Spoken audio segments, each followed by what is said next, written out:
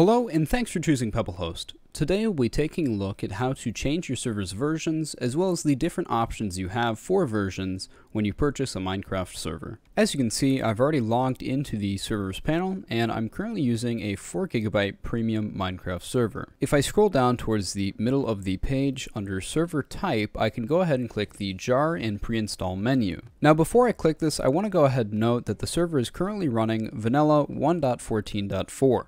Any vanilla jar file by default will not be able to use any sort of plugins, mods, or anything additional that's not already in the original game itself. In order to change this, I can click that jar and pre-install menu, and I'll be presented with a bunch of different options of categories I can use for my server. So let's go ahead and start at the top, which is Paper Spigot. Now, Paper Spigot is a fork of Spigot, which Spigot is a fork of CraftBukkit, and CraftBukkit is technically a fork of Vanilla. Now, all three of these things here will allow your server to use plugins. Plugins are essentially additional add-on items to your server that can add more commands into your server, change the server's gameplay, manage your server, and a whole lot more. Now we recommend Paper Spigot as it adds in a lot more configurable features to optimize your server. You can choose from Paper Spigot 1.15.2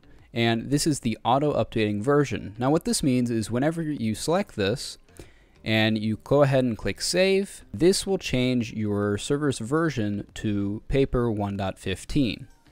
Now because it's auto updating, whenever you restart or start your server, it's going to check if there's a more recent version of the 1.15.2 jar file. If there is, it will automatically update your server to that version. If we go ahead and select the version right underneath it, this will be the most recent stable build version of 1.15.2. While there aren't any auto-updating jars past 1.15.2, we have a variety of other versions we can select from, all the way going down to 1.8.8.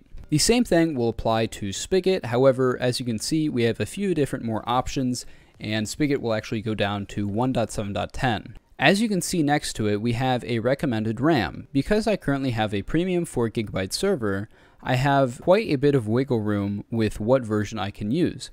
Now keep in mind, you can run any version you would like on your server. However, the recommended RAM determines what we typically see being used on servers in order to have stable performance. As you can see, older versions use around 1 gigabyte of RAM, and as we kind of go further in the versions, they use more and more RAM. This is typically due to less optimization or simply just more features being added into the game. Additionally, as you can see, Spigot 1.15.2 using regular Spigot is recommended you use 4 gigabytes of RAM. However, if we go to Paper Spigot 1.15.2, the latest version as well as the most recent stable build, both will use 3 gigs of RAM. Keep in mind, this is the recommended amount, so this is just essentially the bare minimum amount of RAM you'll need in order to have a stable server. If we go ahead and move down to CraftBukkit, as you can see, we are given the message, warning, CraftBukkit is outdated and no longer supported and that we tell you to use Paper instead, which actually supports all of Bukkit's plugins. Now, this is because, as we said before, Paper is a fork of Bukkit, so all plugins that are from CraftBukkit will work with Paper Spigot. Now, just because these versions are out of date does not mean you can't use them. If we go ahead and select CraftBukkit 1.15.2, click Save, as you can see, it's added to our server's jar file selector. If we go ahead and click the proxy tab on the jar file selector, as you can see, we are presented with a bunch of different options here. These proxy servers allow you to connect more than one server to a network. However, you will only be able to use the server running the proxy simply as the proxy itself. This means you'll need to have multiple other services in order to create a network. If you'd like further explanation, we have another BungeeCord setup tutorial on this channel as well. If we go ahead and move down to vanilla, this is all of the standard Minecraft vanilla jar files, and these are the exact same versions as Mojang puts out themselves. Now, as you can see, currently as of making this video, Minecraft 1.16 is currently marked as unstable because it is a snapshot version. This is a common theme throughout the jar file selector. As we see numerous servers per day, we're able to determine what jar files are unstable or perhaps just completely outdated and as well as view the recommended RAM usage for your server. If we go ahead and move down to Bedrock, this will show all Bedrock versions. So we have Vanilla, PocketMine, and Nukkit, while the standard Bedrock Vanilla version is the official Mojang server, we also have PocketMine and Nukkit. If we go ahead and move down to the other tab, we have a few different other options here. So we have Tuinity, which will require Java 11, and you can select this in the PebbleHost loader, Thermos, Forge, and a custom jar. So Thermos will allow you to use plugins with Forge. This will require some manual installation, while Forge will also require some manual installation.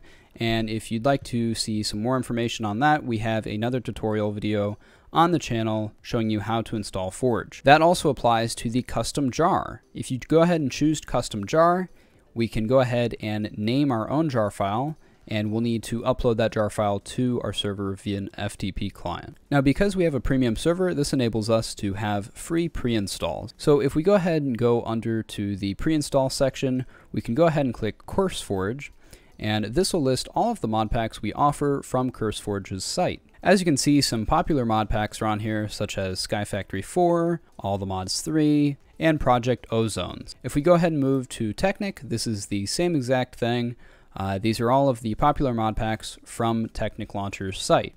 If we move on to FTB, this will list all of FTB's mod packs, again gotten from the official site. So we can choose all of these different uh, mod packs. If we want to go ahead and choose one, for example, FTB Unlimited Reloaded, we can go ahead and click save and we'll get a message. And this message is going to tell us that by running this pre-install, it will delete all of the files from the service in order to run it we can go ahead and click more information here and this will link us to the knowledge base guide on pre-installs. But for now, we're going to go ahead and click Run Pre-install. So this will load our server with the applied script, which is Feed the Beast Unlimited Reloaded. And it says we need to reboot server to apply. So if we go ahead and just start our server because it was initially offline, this mod pack will be added on to our server. As you can see, the server is now booting up and it's changed the jar file to a Feed the Beast server and it's using that specific jar file from that pre-install. If we go ahead and click other pre-installs, we have a few different other options here. I mentioned before that Forge is definitely an option for your server and these are a few different Forge pre-installs for some popular Forge versions. All you'll have to do in order to use these is simply select the Forge version you want, click Save, click Run Pre-install, and then start your server. Additionally, in the other pre-installs option, we have uh, Forge Thermos, which we discussed previously, CrazyCraft 4, as well as two versions of SpongeForge. SpongeForge and Thermos are very similar in which they enable you to use plugins with your Forge server. With that being said, that's going to wrap it up for this video. If you have any questions regarding anything we've covered in this video, feel free to join the PebbleHost Discord and we'd be more than happy to help you there.